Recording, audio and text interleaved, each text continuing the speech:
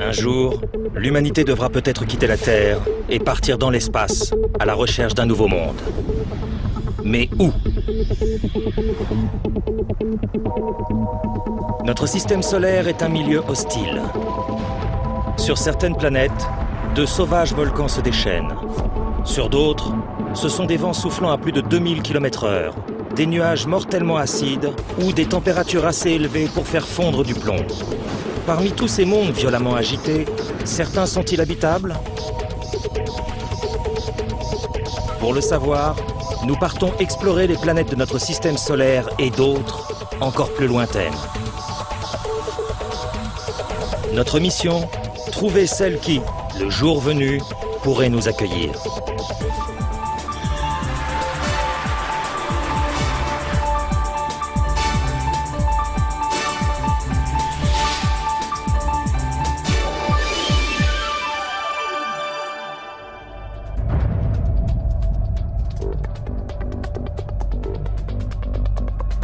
Imaginez une ville illuminée par 200 milliards d'étoiles, tellement vaste qu'un avion mettrait 100 milliards d'années à la survoler d'un bout à l'autre.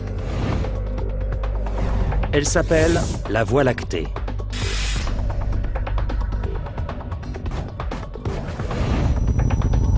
Aux confins extérieurs d'une des six branches de cette spirale se trouve notre propre étoile, le Soleil, avec les planètes qui l'entourent.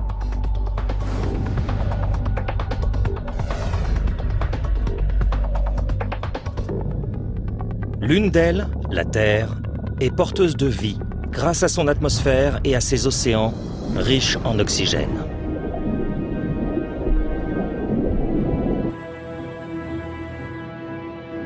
Mais notre monde évolue.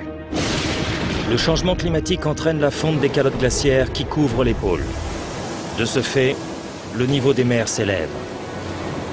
Au cours de ce nouveau millénaire, elles risquent de submerger des terres, de vastes régions du monde deviendraient alors inhabitables et la planète dangereusement surpeuplée. Pour survivre tous, il nous faudra trouver de nouveaux espaces. C'est ce que nous allons tenter de faire lors de ce voyage à travers le système solaire et même au-delà. Nous allons découvrir une planète étonnante dont l'atmosphère permettra peut-être la vie. Ce sont des températures agréables et des pressions adéquates. Je crois que la vie peut y exister. Mais nous verrons aussi que sur d'autres, nous n'aurions aucune chance de survie. Il serait impossible de naviguer dans ce système, on serait cuit en l'espace de quelques instants. Découvrir un nouveau domicile ne sera pas tâche facile. Nous avons évolué sur Terre. Où trouver une autre planète où nous puissions au moins survivre. Notre périple commence par Mercure, la plus proche du Soleil. Nous savons que Mercure possède une atmosphère et que celle-ci comporte des traces d'oxygène. Mais des êtres humains pourraient-ils y vivre? La surface de la planète trahit une histoire agitée. Trous et cicatrices témoignent de chutes d'astéroïdes.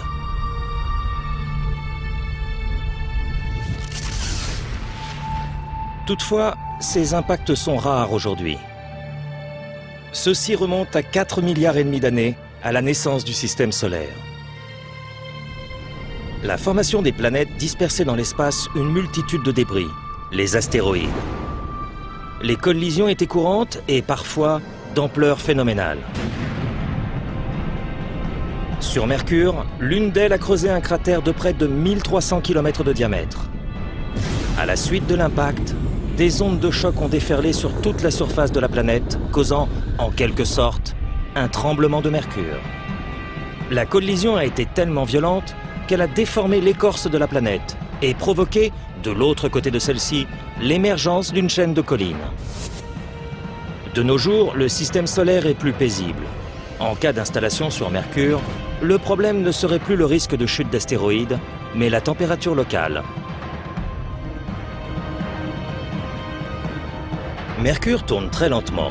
Ici, une journée dure 58 jours terrestres. La face obscure reste trop longtemps privée de soleil. C'est pourquoi il arrive que la température descende à moins 180 degrés. C'est trois fois plus glacial que la température la plus basse enregistrée sur Terre. Quant à l'autre face de Mercure, elle peut atteindre 450 degrés, soit autant qu'une lampe à souder. C'est tellement chaud que la quasi-totalité de l'atmosphère mercurienne s'est évaporée depuis longtemps dans l'espace.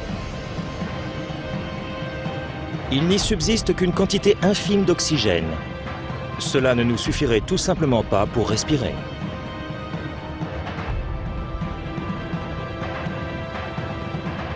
Il doit pourtant y avoir des endroits plus hospitaliers. Éloignons-nous un peu du Soleil. Sur notre trajectoire, la planète suivante est Vénus. Vénus est une proche voisine.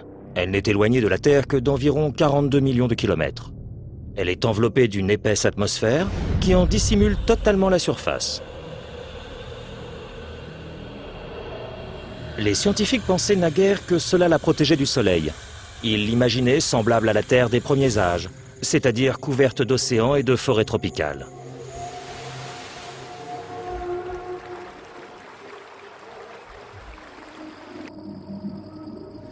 David Greenspoon est astrobiologiste au Musée de la Nature et des Sciences de Denver, aux États-Unis. Sa spécialité, l'évolution de Vénus.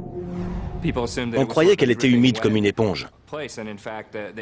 Les gens avaient l'image d'un paradis tropical, plein de fougères arborescentes et même de dinosaures. Une sorte de planète Terre primitive. C'était la conception scientifique qu'on avait couramment de Vénus, jusqu'au début de l'ère spatiale. La surface de Vénus intriguait les astronomes. Que se passait-il vraiment sous ces nuages? Dans les années 60 et 70, tandis que la NASA explorait Mars, l'Union soviétique portait ses vues sur Vénus. Elle entreprit de s'y poser afin d'en photographier la mystérieuse surface. Le programme soviétique, baptisé du nom de code Venera, donna lieu à une série de lancements réussis mais, de façon inexpliquée, dès que les sondes pénétraient dans l'atmosphère vénusienne, le contact était coupé. En octobre 1975, l'équipe finit par faire mouche. Venera 9 renvoya sur la Terre les premières images de la planète. Loin d'être un monde vert et luxuriant, ce n'était qu'un désert stérile. Comment des humains pourraient-ils survivre dans un endroit pareil? Les astronomes ont récemment dressé un tableau détaillé de l'atmosphère vénusienne. Imaginez une sonde fonçant en direction de la planète. À 80 km de la surface, elle rencontre une épaisse couche de nuages. Mais ce ne sont pas des nuages comme les autres. Ils contiennent de l'acide à l'état de vapeur, assez corrosif pour transpercer de l'acier.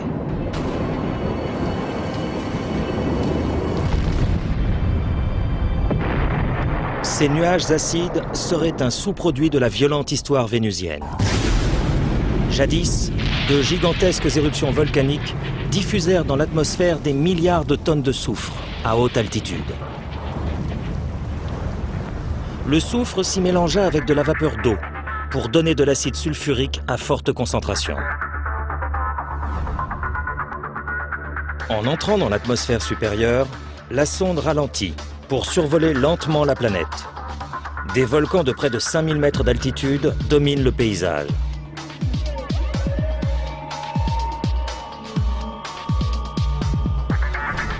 De profonds sillons, creusés il y a un million d'années par de la lave en fusion, s'étirent sur des milliers de kilomètres. L'un d'eux est même plus long que le Nil. Les capteurs de la sonde indiquent une pression atmosphérique 90 fois plus élevée que celle de la Terre de quoi réduire une voiture en miettes. Mais le principal problème est la température. L'atmosphère est presque entièrement constituée de gaz carbonique. Exactement comme sur Terre, celui-ci produit le même effet que les vitres d'une serre. Il laisse passer la lumière, mais il empêche la chaleur de sortir. Sur Terre, l'augmentation de la quantité de gaz carbonique provoque une légère élévation des températures. Mais sur Vénus, celles-ci atteignent 480 degrés. Ce n'est pas à Vénus que je penserai en premier comme lieu de vacances. On y serait mortellement brûlé et en même temps écrasé. Et l'organisme réagirait de manière aussi instantanée que destructrice au mélange corrosif de substances chimiques. Pour pénétrer un environnement aussi hostile, il faudrait un vaisseau spatial construit en matériaux aptes à résister à la perfide atmosphère vénusienne. Voici du plomb. Sur Terre, cette substance métallique se présente normalement à l'état solide. voyons ce qui se produit si nous chauffons du plomb à des températures proches de celles de Vénus. Comme vous voyez, ils font tout de suite.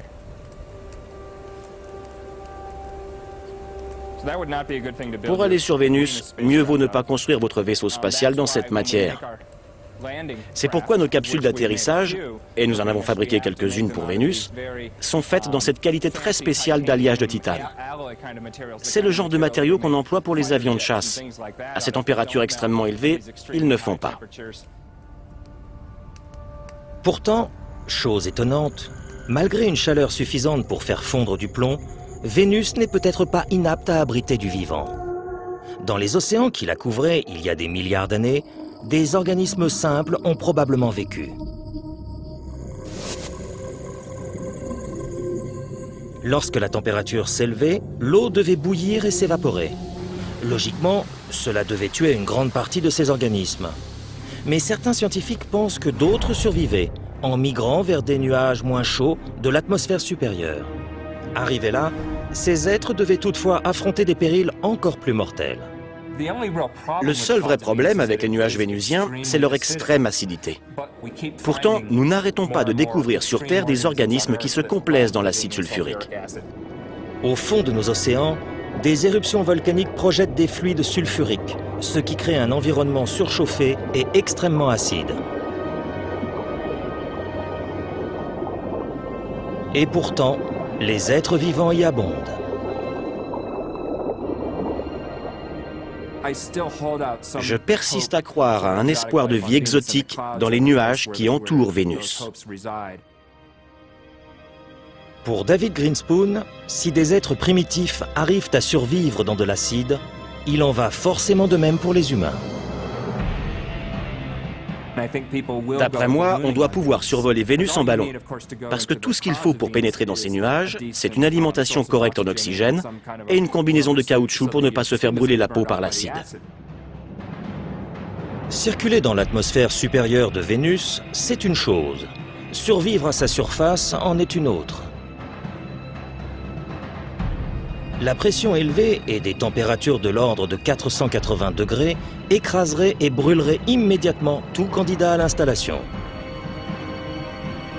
Coloniser Vénus n'est pas une solution envisageable.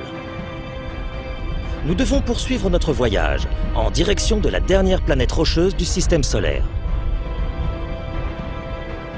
Cette fois, les scientifiques pensent vraiment qu'elle est habitable. Mais nous aurions à y surmonter des obstacles jamais vus sur Terre.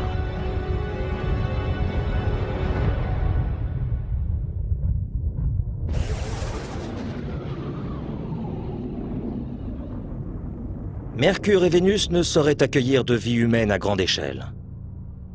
Passant au large de la Terre, nous nous enfonçons plus profondément dans le système solaire. La prochaine planète sur notre route est Mars. Pourrions-nous un jour nous y installer? Entre toutes les planètes, Mars est la plus semblable à la nôtre. Une journée sur Mars dure à peu près autant que sur la Terre. Elle possède des montagnes, des déserts et de profonds ravins que l'eau creusa en des temps reculés. Des traces de cette eau subsistent peut-être enfermées dans le sous-sol. Mais pour les atteindre, il nous faudrait affronter un éternel danger. Les rayonnements. L'explosion produite par l'apparition de notre Soleil, voilà 5 milliards d'années, diffusa à travers tout le système solaire des radiations énergétiques ultra rapides. Ces rayonnements existent encore aujourd'hui. Sans une forme ou une autre de protection, il nous serait impossible de survivre sur Mars. Notre planète, par chance pour nous, s'est entourée d'un champ magnétique. Celui-ci détourne de la surface terrestre les rayonnements solaires qui nous seraient fatals. Mais Mars est dépourvu de champ magnétique, et donc de protection. Au fil des millénaires, les rayonnements solaires ont déchiré son atmosphère. La majeure partie de ses eaux en ébullition s'est évaporée dans l'espace. Sa surface est devenue un désert stérile.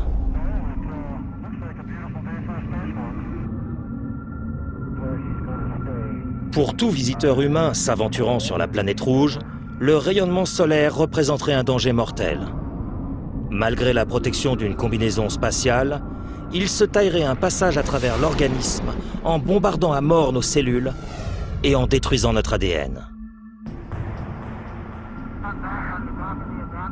Si des êtres humains doivent vivre un jour sur Mars, ils auront besoin d'une protection efficace. C'est pourquoi les chercheurs développent actuellement certains médicaments à base d'enzymes spécialement conçus pour absorber les radiations subies par les astronautes. Il faudrait en outre protéger les habitations. Les scientifiques ont donc élaboré un type spécial de polyéthylène, matière plastique plus légère et plus robuste que les métaux de blindage, et tout aussi efficace. Ce matériau serait intégré à la structure des habitations, afin d'en protéger les occupants. Grâce à ces produits de pointe, un peuplement humain de Mars deviendrait envisageable. Mais un autre problème resterait à résoudre. Une fois l'eau évaporée sous l'effet du rayonnement solaire, la surface de la planète s'est trouvée couverte d'une poussière d'oxyde de fer. Voici à quoi ressemble une tempête de poussière à la mode martienne. Ces mini-tornades sont assez puissantes pour aspirer la poussière dans l'atmosphère. Mais le plus grave, c'est ce qui s'ensuit. Ron Greeley étudie l'activité atmosphérique de Mars depuis plus de 30 ans. Ses connaissances sont cruciales pour tout projet d'expédition vers la planète rouge. À l'aide d'un ventilateur et de vapeurs d'azote à basse température, il reproduit ces tourbillons en laboratoire. Ceux-ci se forment lorsque, sous l'effet de la chaleur solaire, une poche de gaz chaud s'élève soudain du sol, puis se met à tournoyer dans l'air, qui est plus froid. Ce tourbillon aspire de fines poussières d'oxyde de fer et les propulse à haute altitude dans l'atmosphère.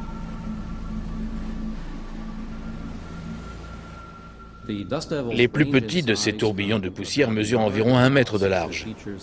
Les plus grands atteignent la taille d'un terrain de football. C'est considérable. Cette poussière doit bien aller quelque part. Selon Ron Greeley, les mini-tornades sont susceptibles de déclencher des tempêtes beaucoup plus spectaculaires.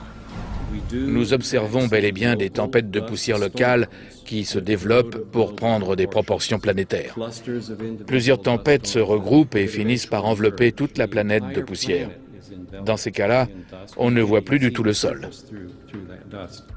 Les tourbillons de poussière ne sont pas les seuls à engendrer des perturbations à l'échelle planétaire. Le vent soulève lui aussi de la poussière, qui monte dans l'atmosphère et peut dégénérer en terribles tempêtes. Cela arrive aussi sur Terre.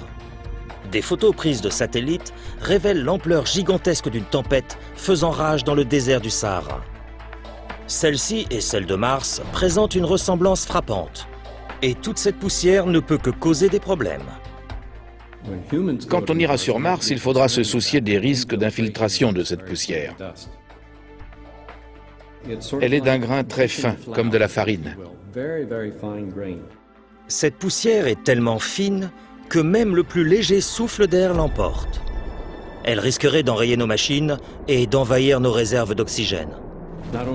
Outre que cette poussière risque de s'incruster dans les moindres recoins, elle présente des propriétés dangereuses. Notamment, elle crée un effet de charge électrostatique. En se regroupant, ces petits grains cumulent leurs charges respectives. Le frottement des grains de poussière entre eux crée une quantité d'électricité statique, comme lorsqu'on traîne les pieds sur un tapis. Entre les particules de poussière peut se produire une étincelle de 20 000 volts. Il y a de quoi détruire un système électronique, notamment tout appareil permettant de vivre sur Mars. Pour envisager une présence humaine sur Mars, il faut comprendre le fonctionnement de la poussière, ses effets électrostatiques et tout ce qui résulte du déplacement des particules par le vent. Peut-être pourrons-nous un jour conquérir l'hostile environnement martien, mais nous ne nous y sentirons jamais comme chez nous.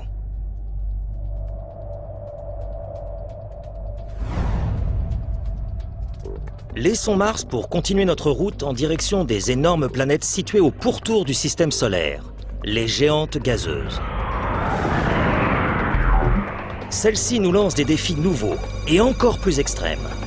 La première que nous rencontrons en chemin est Jupiter.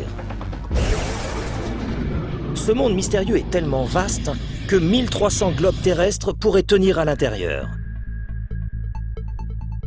Entièrement constitué de gaz, il ne présente aucune surface solide. Ces couches supérieures sont une masse de nuages tourbillonnant en rotation inverse. Cette planète est fouettée par des tempêtes et des vents extrêmement rapides. Fran Bagenal a passé sa vie à étudier l'atmosphère et l'environnement de Jupiter et de ses lunes. Jupiter tourne extrêmement vite. En 10 heures, elle a fini une révolution. Ce mouvement rapide entraîne les vents est-ouest, qui produisent ces bandes qui ceinturent la planète. La grande vitesse de rotation de Jupiter produit des bandes de nuages horizontales qui l'entourent comme une ceinture.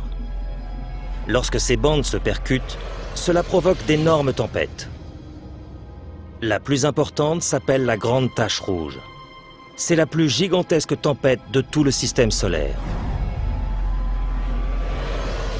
Quand on l'observe de près, on voit nettement qu'elle fait trois fois le diamètre de la Terre. Des turbulences débordent du pourtour de la tâche. Ici, les vents soufflent à plus de 400 km h Elle présente de nombreuses similitudes avec les ouragans, en ce que sa rotation est beaucoup plus rapide sur les bords. Au centre, c'est plus calme. À première vue, la tache rouge présente un aspect proche de celui des ouragans. Mais il y a une différence. Sur Terre, les ouragans se nourrissent des eaux chaudes de l'océan. Puis, dès qu'ils touchent Terre, ils commencent à mourir. Ils ne durent pas plus de quelques semaines. Sur Jupiter, il en va autrement. La tache rouge fait rage depuis plus de 300 ans. Cette longévité s'explique sans doute par l'absence de sol. Ici, les tempêtes ne se heurtent pas à des continents où elles perdraient leur énergie. La tache rouge continue donc de tourner, sans cesse. Mais la rotation de Jupiter ne suffit pas à expliquer l'existence de la grande tache rouge. Les astronomes ont découvert que la planète émet deux fois plus d'énergie qu'elle en reçoit du Soleil, ce qui indique que son cœur doit être chaud. L'énergie qui entraîne les vents jupitériens provient sans doute de ce cœur. Examinons-le de plus près.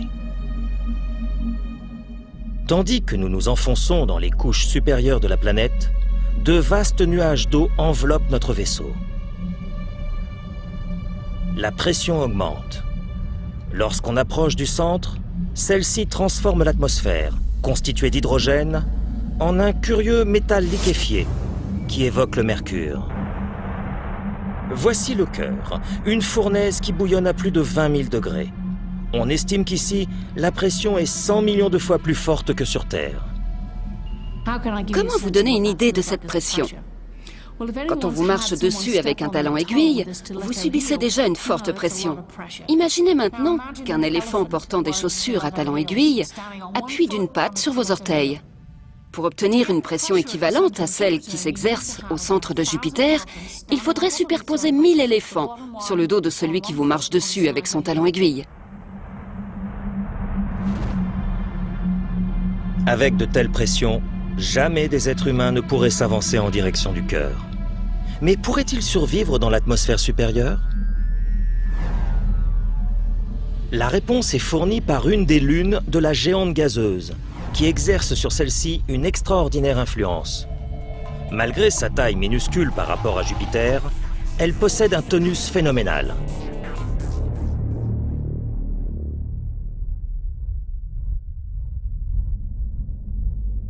Notre recherche d'un nouveau logis nous a menés bien loin de chez nous. Nous sommes à 587 millions de kilomètres de la Terre, en orbite autour de Jupiter, planète géante. Pourrions-nous survivre dans sa turbulente atmosphère supérieure? Tout cela dépend de l'environnement. Voilà qui nous amène à observer ces satellites. Celui-ci, baptisé Io, est tout petit. Mais c'est le corps céleste le plus volcanique de tout notre système solaire. Habiter près d'un volcan n'est jamais de bon augure. Rosalie Lopez est volcanologue. Elle explore actuellement le massif du Kilauea, à Hawaï. Sur Terre, c'est l'un des endroits qui rappelle le mieux le brutal volcanisme du satellite Io. Sur Io, le paysage ressemble sans doute beaucoup à celui-ci, surtout à proximité des coulées de lave. Il doit y avoir des coulées comme celle-ci, solides en superficie et en fusion en dessous. Comme le Kilauea, Io crache de la lave issue de ses entrailles surchauffées. Mais leur similitude s'arrête là. Les volcans du satellite Io expulsent une incroyable quantité de lave. En cinq mois sur le Kilauea, elle s'étend sur une superficie de 10 km. Sur Io, ils en crachent 100 fois plus. Une seule coulée a suffi à couvrir 620 km. La chaleur à l'origine de l'activité volcanique du Kilauea provient pour l'essentiel de la dégradation de matières radioactives, profondément enfouies dans les entrailles de la Terre. Mais sur Io, le volcanisme a une toute autre cause. Il résulte de l'interaction des marées, elles-mêmes génératrices de chaleur. De même que sur Terre, le niveau des mers s'élève et s'abaisse sous l'effet de l'attraction lunaire, la surface d'Io se déforme en raison de la force de gravité qu'exerce Jupiter et deux de ses proches satellites. En l'espace de deux jours, son sol monte et redescend d'une centaine de mètres.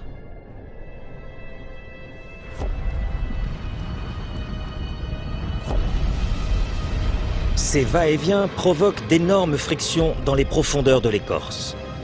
La chaleur et la pression se conjuguent pour transformer de la roche solide en lave en fusion. Il en résulte des lacs qui couvriraient la moitié de la France. Pour nous, le volcanisme d'Io serait invivable. Mais il faut chercher ailleurs ses dangers les plus mortels. Avant que la lave ait notre peau, les rayonnements nous auraient tués depuis longtemps. Au bout d'à peine 10 minutes sur Io, nous serions grillés. Et même à plus de 320 000 km de là, dans l'atmosphère supérieure de Jupiter, un être humain non protégé aurait une espérance de vie de quelques heures, tout au plus. Les particules volcaniques qu'Io éjecte dans l'espace restent piégées dans le gigantesque champ magnétique de Jupiter. Sous l'effet de la rapide rotation de la planète, ces microscopiques boulets de canon atteignent des vitesses incroyables. Formant autour de Jupiter une ceinture rayonnante, ils sabrent tout ce qu'ils rencontrent sur leur passage.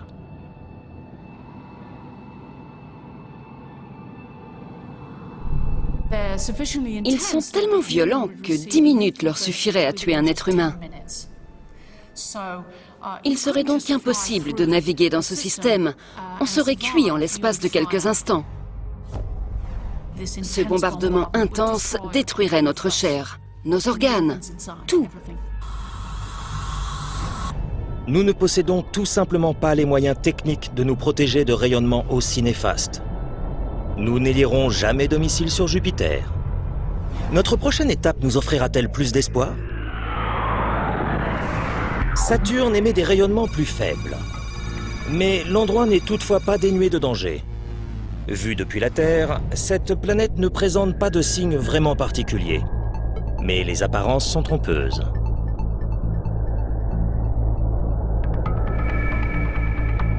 Bien que ces anneaux aient l'air solides, ils sont constitués d'une multitude de fragments de glace et de roches, certains de la taille d'un caillou, d'autres aussi gros qu'une voiture. Et ils se déplacent tous plus rapidement qu'un projectile tiré à grande vitesse. Mais le pire danger sur Saturne, c'est son atmosphère. Comme Jupiter, cette planète est ceinturée par des vents soufflant en contre-rotation extrêmement rapides. Les nuages se déplacent autour d'elle à plus de 1600 km/h. Le long de deux bandes de nuages, les frictions et collisions de minuscules particules dégagent une énorme charge électrique. Selon les études théoriques, quand cette charge devient trop importante, des arcs électriques se produisent entre les nuages qui déclenchent à leur tour de gigantesques éclairs. Kevin Grazier est spécialiste à la NASA des phénomènes atmosphériques sur Saturne. Cela occasionne des transferts de charge d'une bande à l'autre, d'où des voltages élevés et d'énormes éclairs. Pour avoir une idée de l'envergure des éclairs sur Saturne, comparons-les avec ceux que nous connaissons sur Terre. Sur notre planète, un éclair peut atteindre en une fraction de seconde une température de 28 000 degrés. C'est suffisamment chaud pour qu'en touchant le sol, il crée un tube de verre solide de 5 mètres de profondeur. Mais par rapport à ce qui se produit sur Saturne, ce n'est qu'une infime étincelle. Sur cette géante gazeuse, une tempête couvre l'équivalent de l'Amérique. Sur Terre, une tempête dure une semaine ou deux au maximum. Sur Saturne, une tempête dure des semaines, voire des mois ou des années. Dans une atmosphère aussi instable, toute tentative de pénétration dans les nuages de Saturne serait mortelle. Passant au large d'Uranus, monde sans grande particularité, nous nous dirigeons vers la frange tout à fait extérieure de notre système solaire. Les visiteurs du futur y trouveront de quoi éprouver, voire dépasser leurs capacités.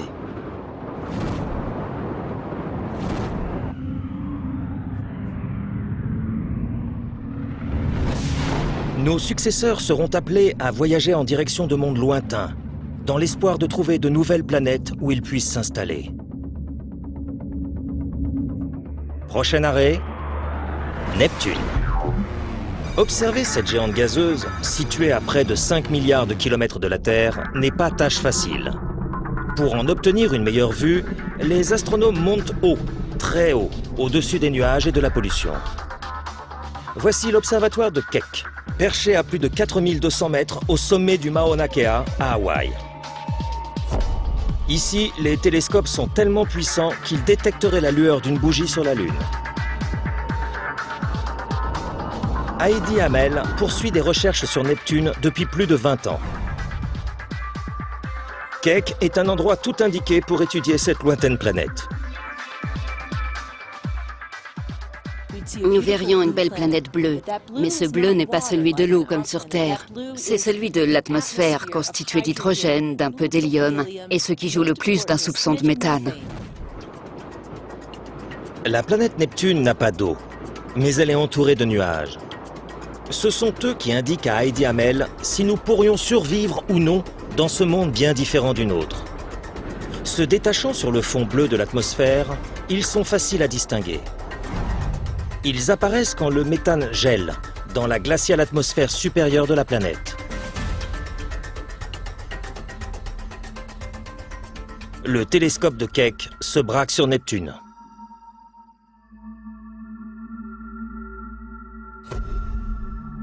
Afin de suivre le mouvement des nuages dans cette couche supérieure, Heidi Hamel prend une série de photos. Elle mesure la distance entre deux points et le temps qu'ils mettent à la parcourir afin de calculer à quelle vitesse les vents soufflent.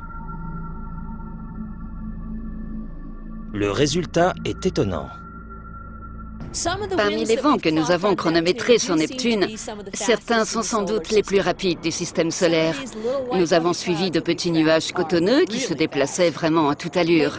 À certaines latitudes, le vent souffle à 1900 km h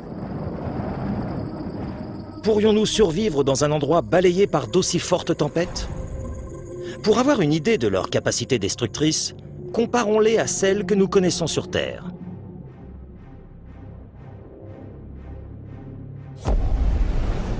L'une des manifestations les plus dévastatrices du vent est la tornade.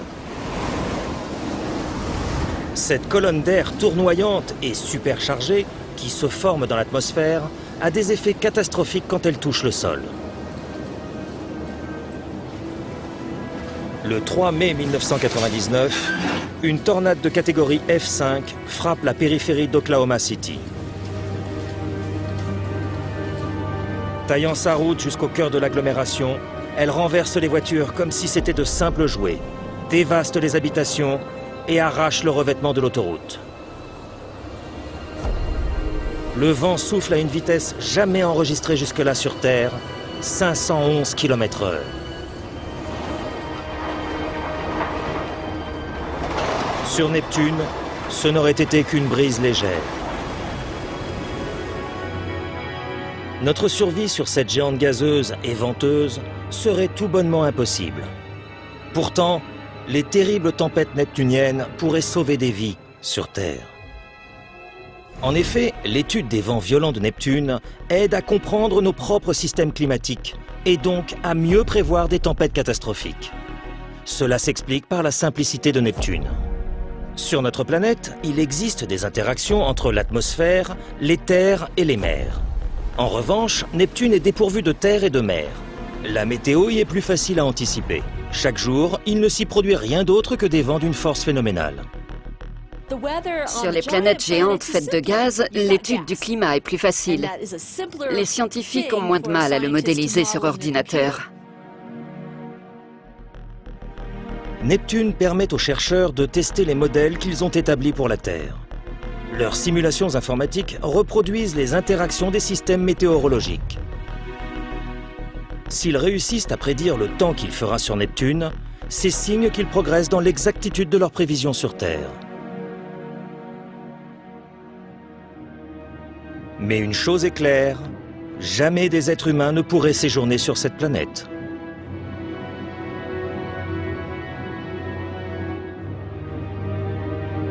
Celle-ci a cependant une proche voisine, un monde à la surface solide et exempt de tempêtes. Il s'agit de Triton, l'une des 13 lunes de Neptune. Elle est couverte de neige d'azote gelé. Sa taille suffirait à nous accueillir. Mais il reste à savoir si nous pourrions y vivre.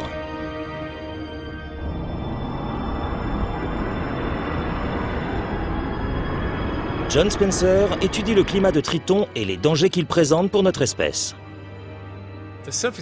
Vu de près, la surface de Triton doit être assez curieuse. On y trouve plusieurs gaz à l'état gelé, du gaz carbonique, du monoxyde de carbone, du méthane et aussi beaucoup d'azote. Celui-ci forme des congères et crisserait probablement sous les pas. Toute exploration de l'hostile Triton mettrait notre vie en danger. À moins 230 degrés, il nous faudrait un équipement spécial. À l'aide d'azote liquide, John Spencer et son assistant Eddie Goldstein reproduisent l'environnement de Triton. Par ce moyen, ils observent comment les matières se comporteraient dans ce monde glacial. Pour fabriquer une combinaison spatiale adaptée aux températures qui règnent sur Triton, il faudrait logiquement un matériau assez souple, du caoutchouc par exemple. Ici, à température ambiante, le caoutchouc est souple et lisse. Il convient parfaitement à la fabrication de joints hermétiques indispensable pour l'équipement des astronautes. Mais quand il fait moins 200 degrés, c'est une autre histoire. Ce n'est pas parce qu'un matériau est souple sur Terre qu'il l'est sur Triton.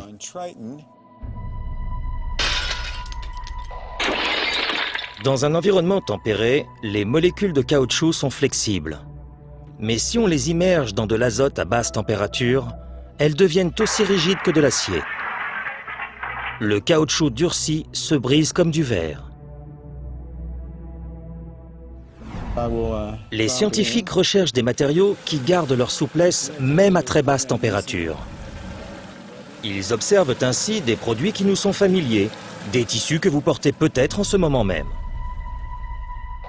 Le nylon pourrait-il nous aider à résister au froid glacial de l'espace? C'est une matière intéressante, car même froide, elle garde toute sa souplesse. Pourtant, le nylon n'a rien de spécial en soi, mais il est tissé de fils extrêmement fins.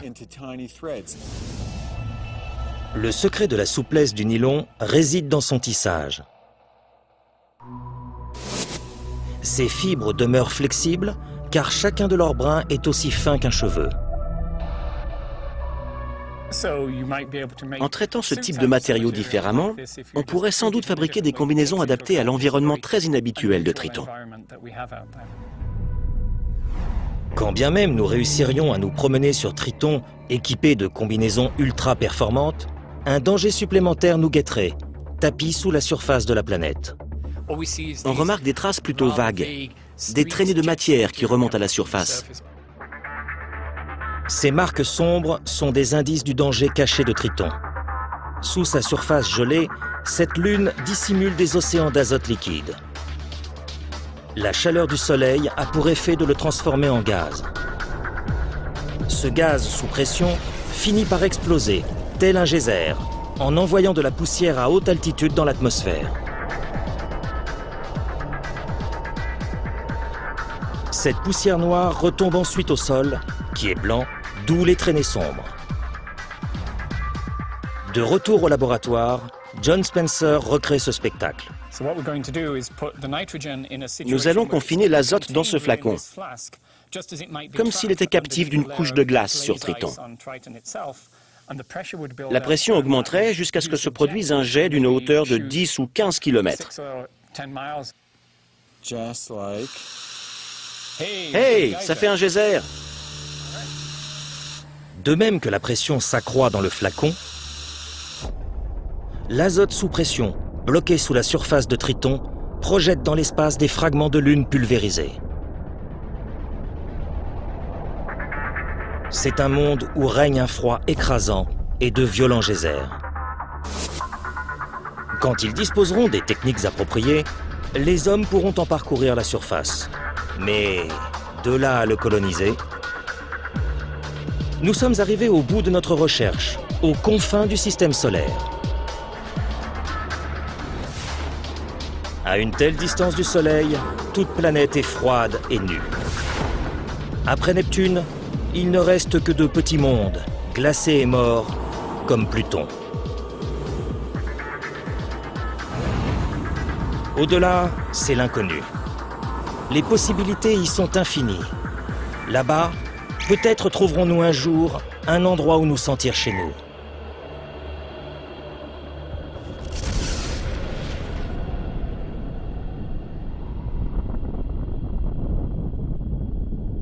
Pour le moment, les astronomes réunissent des éléments d'une incroyable nouveauté qui leur permettent d'avancer dans leur quête. La quête d'un nouveau monde, où la vie humaine serait possible.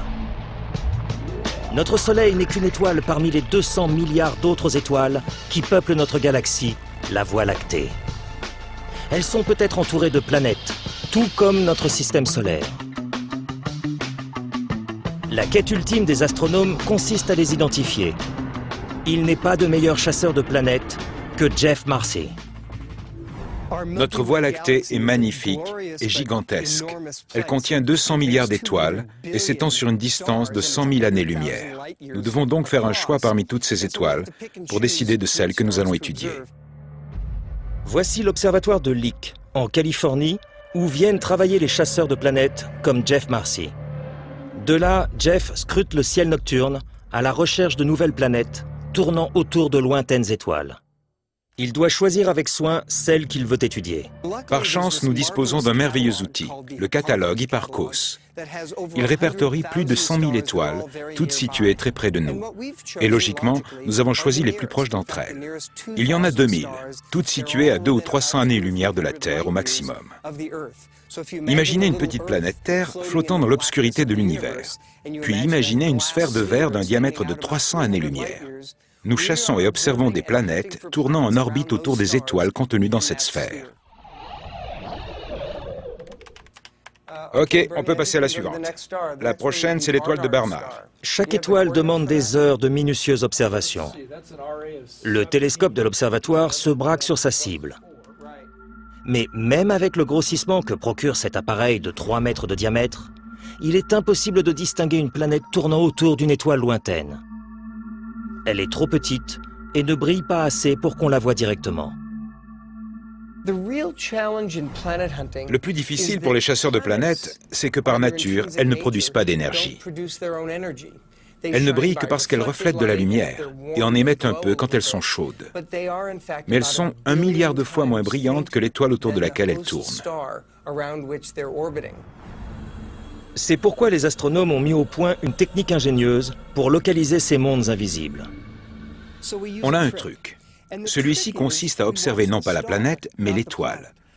En raison de sa rotation autour de l'étoile, la planète exerce sur celle-ci une force gravitationnelle qui fait osciller l'étoile. Pour montrer cet effet d'attraction d'une planète sur l'étoile, Jeff a recours à une démonstration simple.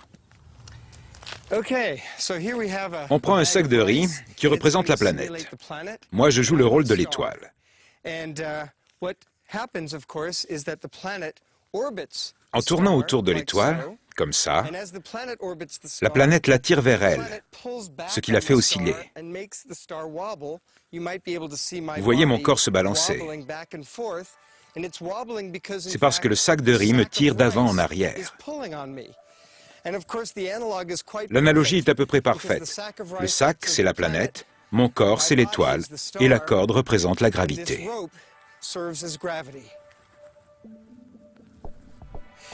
Bien entendu, avec nos télescopes, nous ne voyons rien d'autre que l'étoile. Il nous est absolument impossible de détecter la planète. Nous observons donc les étoiles pour voir si elles oscillent. Quand c'est le cas, c'est qu'elles ont une planète en orbite. À ce jour, les chasseurs de planètes comme Jeff Marcy en ont découvert plus de 200, tournant autour de lointaines étoiles. Mais sont-ils à même d'en dresser une description? Jeff Marcy pense que oui, en calculant la distance qui sépare la planète de son étoile. Plus la planète met de temps à parcourir son orbite autour de l'étoile, plus elle en est éloignée logiquement. Les planètes proches de leur étoile effectuent plus rapidement leur révolution. La Terre met à le faire, comme vous le savez.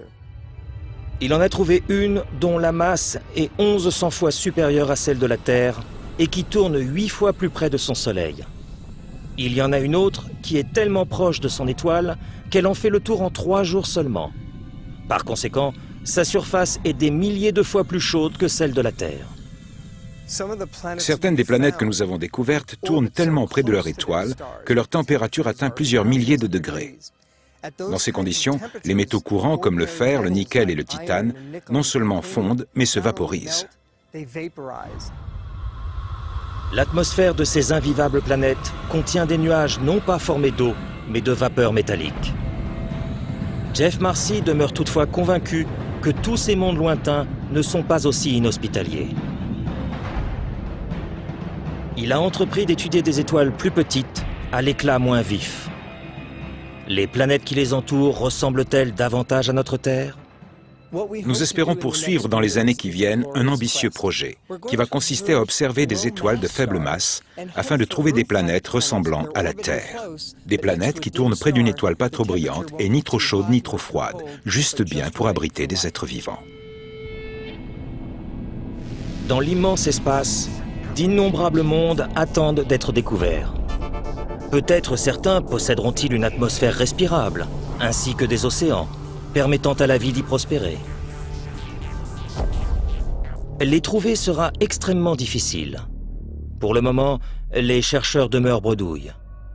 À en juger par les épouvantables environnements qui caractérisent les planètes de notre système solaire, ils ont un colossal défi à relever. Entre la chaleur insupportable de Vénus, les volcans en éruption sur Io et les vents qui balaient Neptune à plus de 2000 km/h, les mondes que nous connaissons désormais sont bien trop dangereux, malgré toutes nos techniques de pointe. La seule planète laissant un espoir de colonisation humaine est Mars. Si nous parvenons à surmonter le problème des poussières et des rayonnements solaires, nous pourrons peut-être y habiter un jour. Quand le climat terrestre sera devenu trop extrême, peut-être élirons-nous domicile sur Mars.